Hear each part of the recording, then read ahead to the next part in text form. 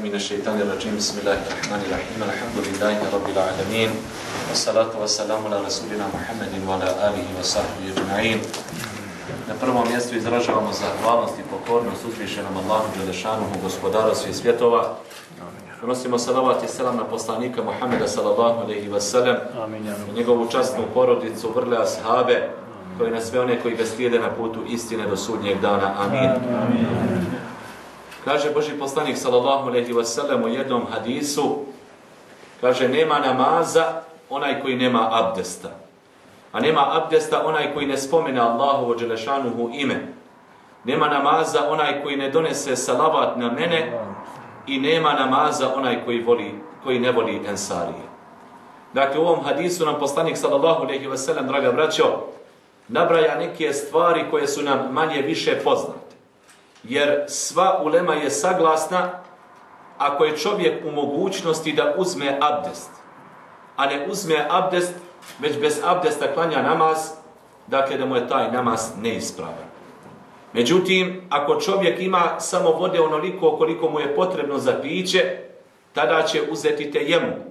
Na osnovu one situacije kada poslanik sallallahu alejhi ve sellem je sa grupom ashaba je tražio Hazreti Aishinu radijallahu anha ogrlicu koju je izgubila i već je isticalo namasko vrijeme i poslanik alejhi selam tada upućuje dovu Allahu dželešanuhu da mu izna, iznađe rešenje šta da uradi jer su bili udaljeni od vode i tada mu Allah uzvišeni kaže da uzmu tejemum i to je dakle prvi namaz kojeg je poslanik alejhi selam i ashabi su klanjali, klanjali se tejemum.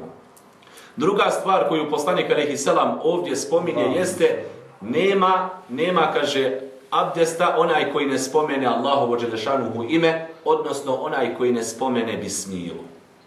Jedne prilike poslanik alejhi selam uzima abdest pa je oprao svaki organ svoga tijela po jednom i nakon toga kaže ovo je abdest kojeg ja uzima i abdest dakle kojeg je praktikovo Ibrahim alejhi selam. Pa onaj koji uzme dakle ovako abdest i na kraju dakle prouči šehadet ili bismilu, kaže Allah Đelešanuhu će mu otvoriti svih osam dženeckih kapija. Prema kojoj god se okrene, moći će, kaže, da uđe u nju.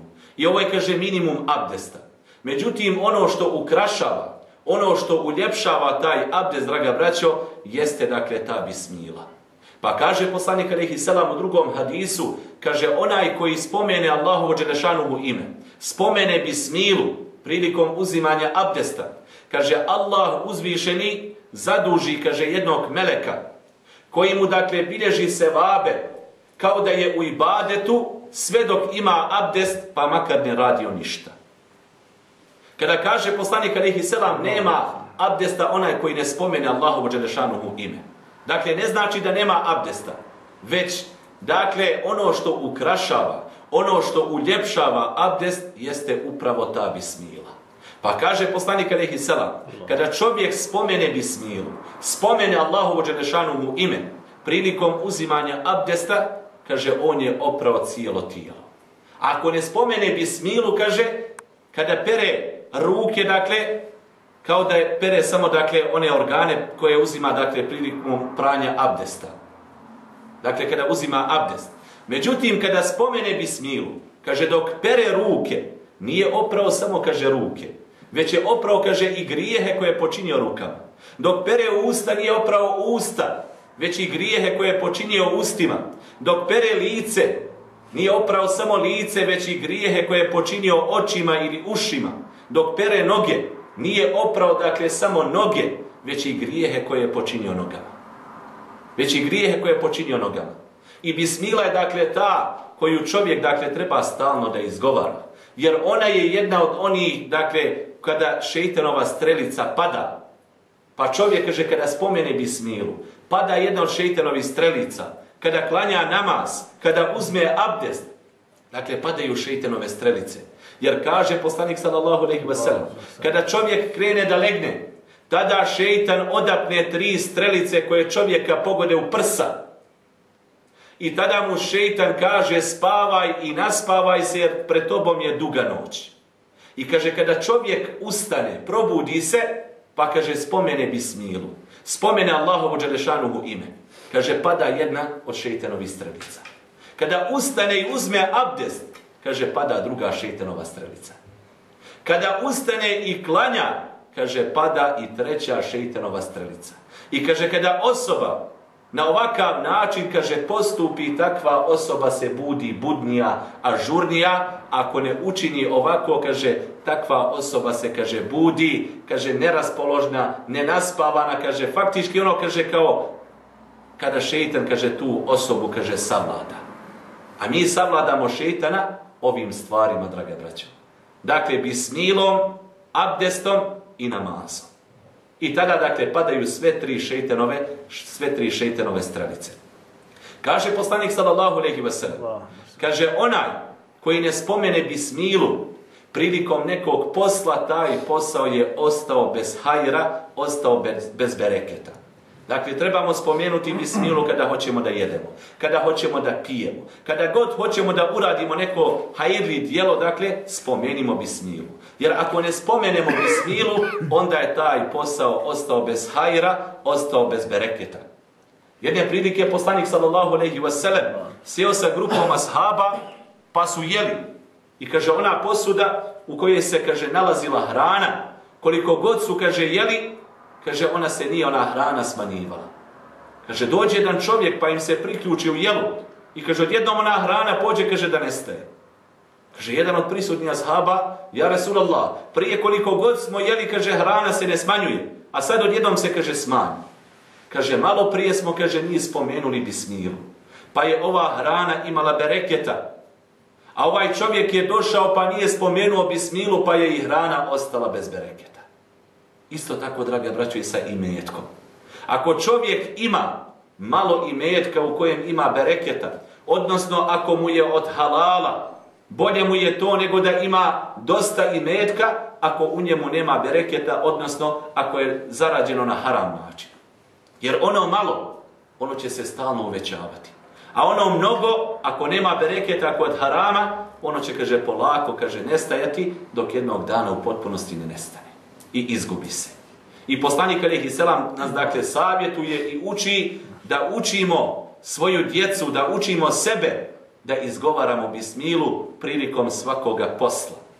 Žalostno je da u nekim porodicama, u nekim kućama, umjesto bismile, umjesto Kur'ana, čujemo riječi psovke, riječi ovog ili onog, ali nemaju dakle te riječi bismile, niti riječi Kur'ana, niti onoga što nam poslanik sallallahu alaihi preporučuje. Kako se navodi u jednoj predaji, kaže Zejt ibn Harith, jedne prilike se, kaže, uputio prema Taifu. Da putuje i, kaže, jedan munafik mu se, kaže, priključi da mu pravi društvo sa njim, da idu. I, kaže, došli su do jednog mjesta, do jedne kuće koja je bila, kaže, napuštena. I, kaže, ovaj munafik predlaže Zejt ibn Harithu, kaže, hajde da se odmorimo, kaže, ovdje malo. Kaže, dobro.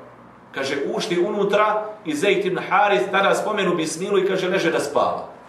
A ovaj munafik iskoristi tu priliku i skoči, kaže, i sveza mu ruke i noge. Izvadio sablju da ga ubije, kaže, ako te Muhammed voli, ja te zasigurno ne volim. Kaže, tada je čuo glas koji mu se obratio i kaže, ne možeš ga ubiti. Kaže, izašao je vani, nema nigdje nikoga. Ponovo krene da ga ubije, ponovo čuje glas, ne možeš ga ubiti. Kaže, ponovo izađe, ponovo nema nikoga. Kaže, kada je krenuo treći put, ponovo, kaže, čuje glas, ne možeš ga ubiti.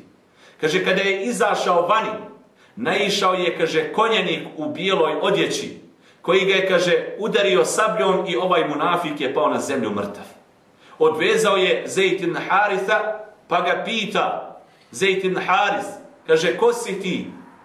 Kaže, ja sam melek sa sedmog neba. Allah Đelešanuhu me zadužio da te čuvam onog trenutka kada si proučio bismilu. Dakle, vidimo, draga braćo, da riječi bismile, bismillahirrahmanirrahim, jeste, dakle, ključ koji može otvoriti mnoga vrata. Kada je poslanik sallallahu alaihi wasallam bio na Mirađu, kaže, vidio je četiri rijeke pa je pitao Meleka Džebraila odakle izviru ove rijeke i gdje se ulivaju kaže, ulivaju se u bunaru Keuser. A odakle izviru? Kaže, poslanik Alihi Selam pa me je poveo, kaže, do jednog drveta. A tamo je, kaže, bilo jedno kube koje je bilo ograđeno, kaže, crvenim zlatom. Krenuo sam da uđem unutra, ali kaže nisam mogao. Pa mi bi rečeno, kaže, ključ je u tvojim rukama. Ova vrata ćeš otvoriti pomoću riječi Bismillahirrahmanirrahim. Pa sam izgovorio riječi Bismile i ušao unutra. I vidio, kaže, da na četiri čoška, kaže, izviru ove rijeke. I da na svakom čošku piše ovaj ajet Bismillahirrahmanirrahim. Drugo što poslanik alihi selam spominje ovdje u hadisu, kaže da nema namaza onaj koji ne donese salavat na njega. Dakle, ne znači ovo da nema namaza, ali ono što uljepšava taj namaz jeste salavat kada donesemo na poslanika sallallahu alaihi wa Jer Allah uzvišeni u Kur'an i Kerimu kaže da i on i meleki donose salavat na poslanike sallallahu alaihi wa I naša obaveza i dužnost jeste kada god čujemo ime poslanika alaihi selam da donosimo salavat na njega.